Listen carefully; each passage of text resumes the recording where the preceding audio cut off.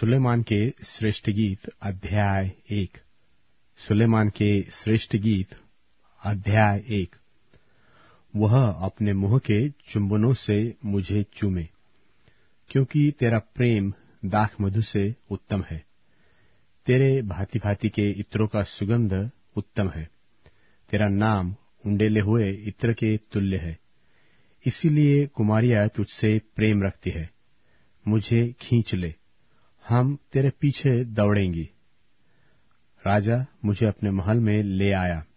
हम तुझ में मगन और आनंदित होंगी। हम दाख मधु से अधिक तेरे प्रेम की चर्चा करेंगी। वे सच्चे मन से तुझसे प्रेम रखती है। हे यरूशलेम की पुत्रियों, मैं काली तो हूँ, परंतु सुंदर हूँ। केदार के तंबुओं के और सुलेमान के पर्दों के तुल्य हूँ। मुझे इसलिए न देख कि मैं काली हूँ। मैं धूप से झुलस गई। मेरी माँ के बच्चे मुझसे अप्रसन्न थे। उन्होंने मुझको ताक की बारियों की रखवाली के लिए नियुक्त किया। परंतु मैंने अपनी निज दाह की बारी की रखवाली नहीं की। हे मेरे प्राण प्रिय मुझे बता कि तू अपनी भेड़ बकरियाँ कहाँ चराता है और दोपहर को कहाँ बैठता है? क्योंकि मैं तेरे संगियों की भेड़ बकरियों के पास क्यों घूंघट काढ़े हुए चलू फिरू?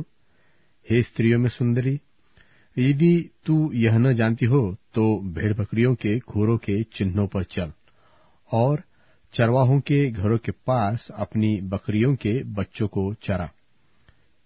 हे मेरी प्रिया, मैंने तेरी उपमा फिरौन के रथों से जुते हुए घोड़ों से दी है।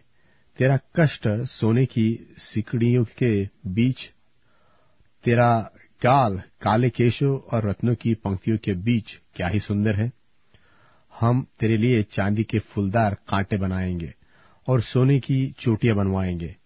राजा अपनी मेज के पास बैठा रहा। मेरी जटामासी की सुगंध फैल रही थी। मेरा प्रेमी मेरे लिए लोहबान की गठरी के समान है। जो रात भर मेरी छातियों के बीच में पड़ा रहता है। मेरा प्रेमी मेरे लिए मेहंदी के फूलों के गुच्छा जैसा है, जो एनगदी की दाग की बारियों में होता है। तू सुंदरी है। हे मेरी प्रिया, तू सुंदरी है। तेरी आँखें कबूतर की सी है। हे मेरे प्रेमी, तू सुंदर और मनभावना है। और हमारा बिछोना भी हरा है।